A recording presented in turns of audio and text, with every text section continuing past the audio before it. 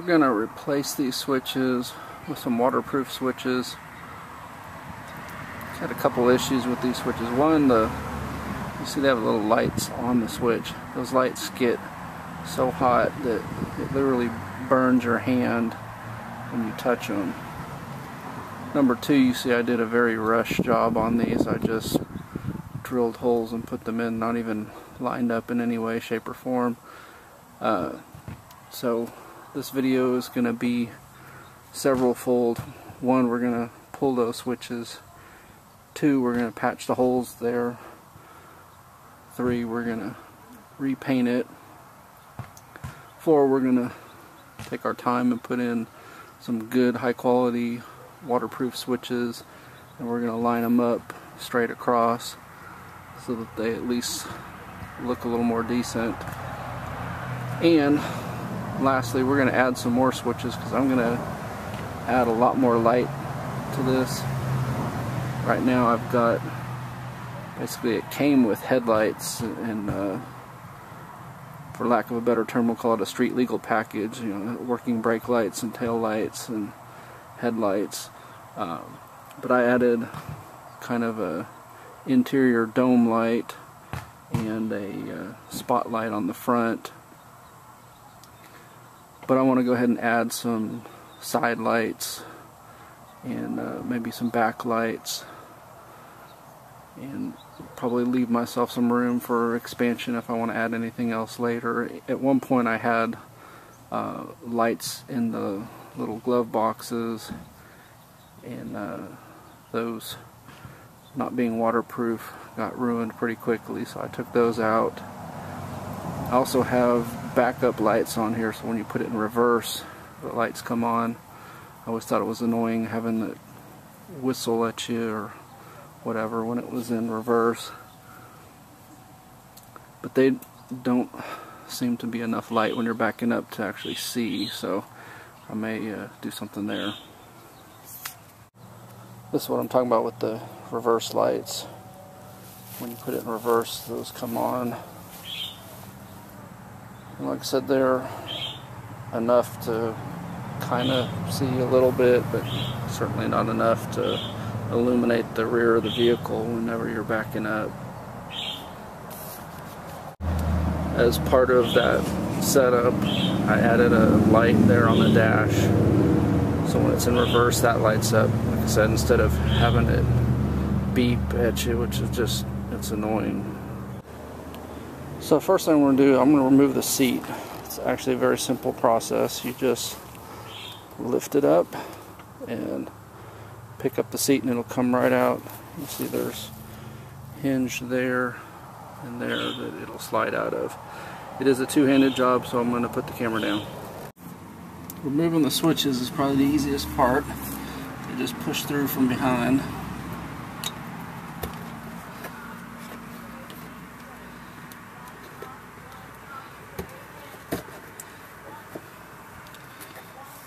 And I've got them insulated so they won't short out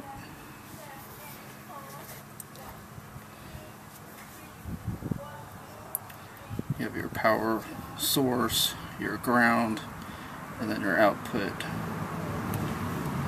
Both the same type of switch.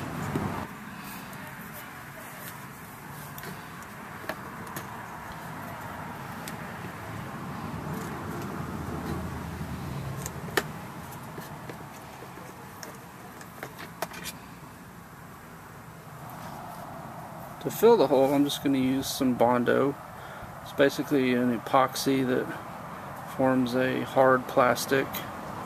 So you mix that with the hardener, spread it on, and it dries fairly quickly. So you gotta mix just what you're gonna need to work with, or you'll waste a bunch.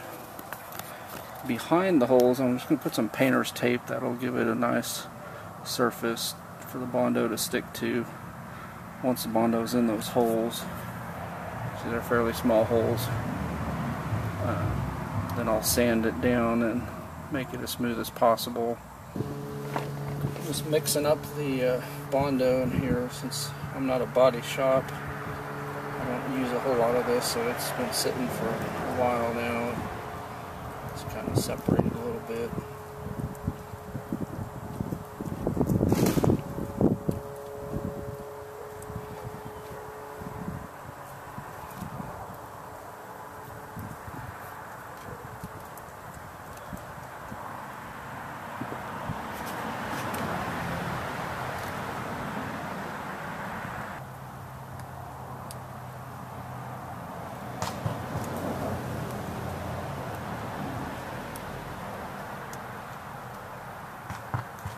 Mix these thoroughly. Kind of want a pinkish color to it.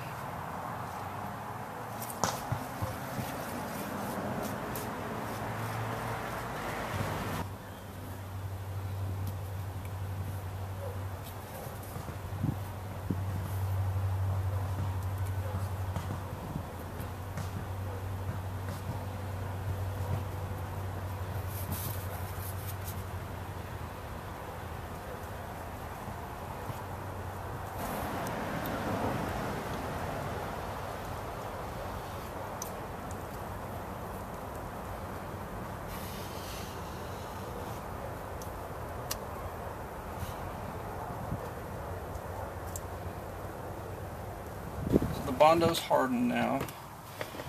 I'm going to knock it down first with the 100 grit sandpaper to get all this junk off and then I'm going to go over it with the 240 probably wet sand and then see how it feels after that.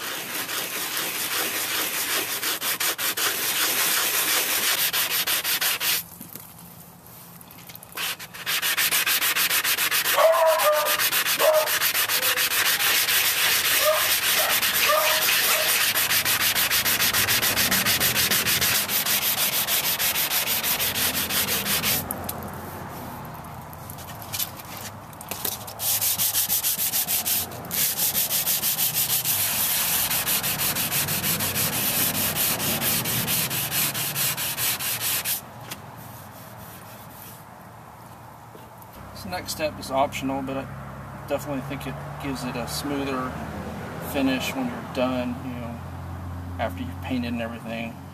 If I don't do this step, you'll see these circles. So just glazing and spot putty. I'm going to clean it with some TSP. Just make sure there's nothing on here that is going to make this not adhere.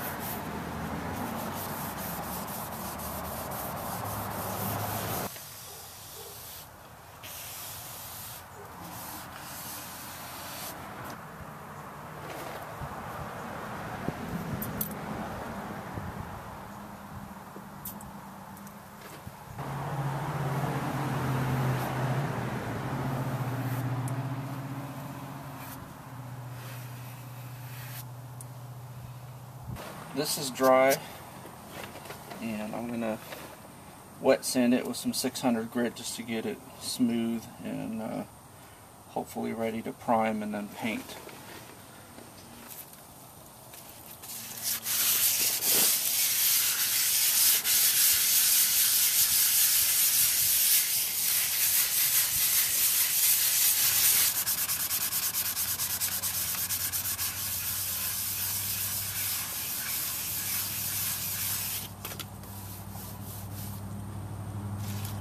Alright, it's not perfect. Uh, there's probably no way for me to get it perfect. I'm, like I said, I'm not an experienced body shop person. Uh, but, you know, if this was a show Corvette or something, obviously I wouldn't be doing this. But since this is on a golf cart underneath the seat where you're not going to see it, it's probably smooth enough for what I'm wanting to accomplish here. So I'm going to get this dry, clean it with the TSP, mask off a certain area here, and then just hit this with a little bit of primer, sand it, and then hit a wider area with paint. I'm going to use the same paint that I used before on here, so hopefully it'll blend pretty well. I really don't want to have to go through removing all these pieces and everything and painting the whole panel. I just try to just paint this area a little bit. So we'll see how that turns out.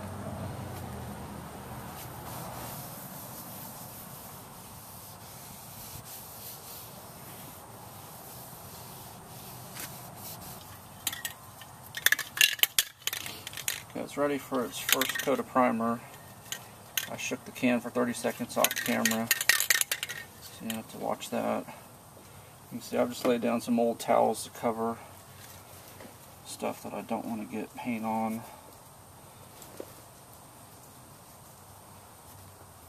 And then I've taped off the areas that are likely to get hit no matter what I try to do.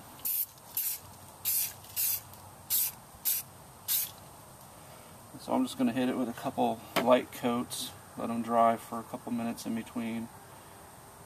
It's about 75 degrees out here right now.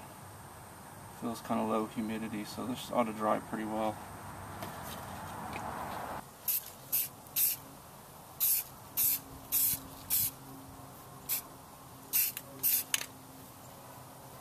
As the primer starts to dry, you'll start to see what areas are going to show when you're done painting. Obviously when you paint, even more areas will likely show if there's any kind of flaw at all. Like I can see a little bit of an outline there and there. Like I said, if this was some sort of show vehicle, I wouldn't even be doing this painting. But this is going to be underneath the seat in a golf cart that we basically use for fun. So I'm not too worried about this being perfect. I'm going to obviously try to get that uh, as good as I can without spending a whole lot of time. I could possibly hit this with some more of that filler and just try to get it smooth. Like I said, I'm probably not worried about it. I'm going to be drilling back through here and putting in more switches. Some of these spots may not even show I may be drilling through them. So it's hard to say, but like I said, when you watch it dry, you'll, I don't know if you can tell on the camera, but to the naked eye, you can see a little bit of a outline of the circle there and there. And obviously, when that's painted, it will really show. So this kind of, as you're doing your priming, it kind of gives you an opportunity to preview things that you might need to go back over. Like I said, the, the more important the paint job is to you, the, the more time you want to spend getting this perfectly smooth because once you paint it, every little minor flaw will show. I'm going to let this dry. I'm probably not going to hit it with any more primer. Uh, like I said, for the goal of this is not to have a perfect show car paint job. It's just to cover up some holes that I rushedly drilled in here without planning. This dries, I'm going to hit it with the thousand grit and see if that's enough. I may have to go with the 600 if the thousand doesn't do it, but so you want to get this to where you basically feel no imperfections. And uh, so I'm going to start with the thousand and see if that's enough. I may have to go down to 600 to cut it a little more.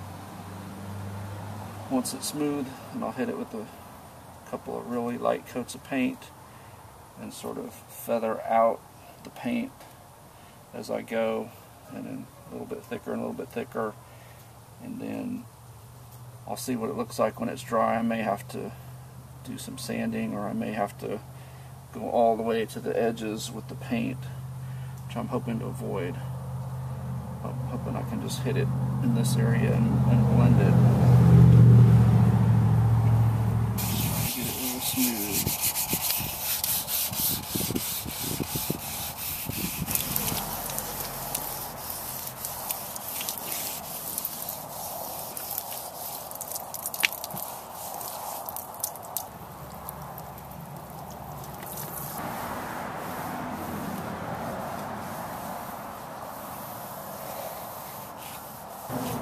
I've the paint 30 seconds off camera. Uh, this paint seems to do a pretty good job of covering on plastic type surfaces like this. I'm spray a little test spray on the cardboard here.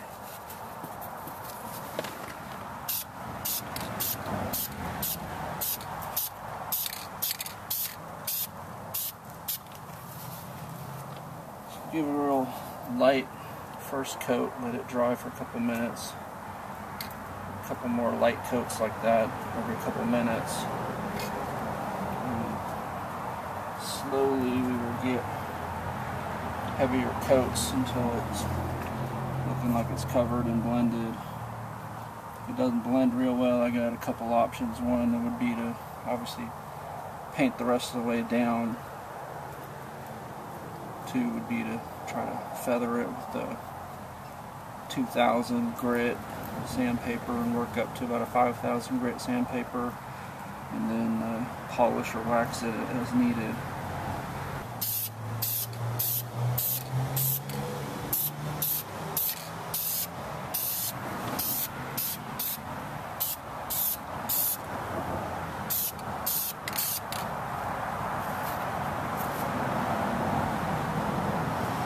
definitely doing small, thin, light coats multiple times definitely gives a better job than trying to spray one thick coat all at once.